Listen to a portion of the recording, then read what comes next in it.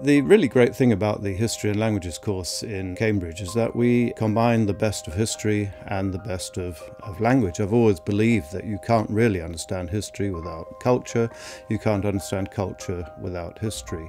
Language is the real key to both of those things, and that's what we offer in the course here. In terms of resources, Cambridge has absolutely fantastic libraries which can be accessed online as well as in person. It's got world class experts that deliver a lot of the teaching, um, and it has a lively set of undergraduates who provide perhaps some of the best peer group teaching that you'll get. Students acquire a wide variety of skills on this particular course. For one thing, they learn skills of critical analysis and reasoning, which are very highly sought after by employers in our experience. They also learn languages to a very high standard indeed, meaning that they're able to go away and work in foreign languages after they've taken the degree. And on this particular course, you also have the option to spend a year abroad, which gives you access to life in foreign universities or in the country of your choice.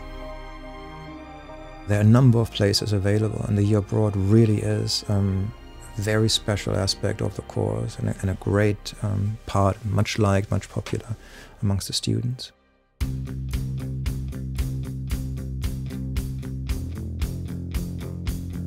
Studying at Cambridge is such a unique experience. I find that the supervision style of teaching is just so incredible.